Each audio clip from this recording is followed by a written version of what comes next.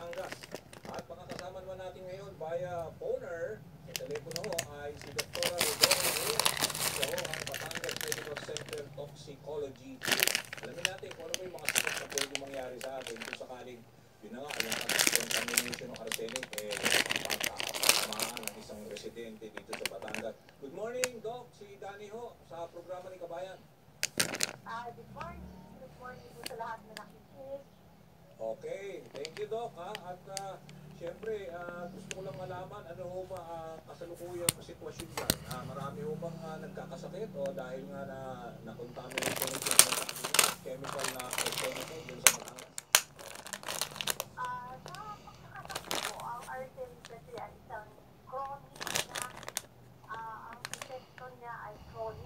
Okay. Kasi mapatalan mo bago natin makita yung talagang ito.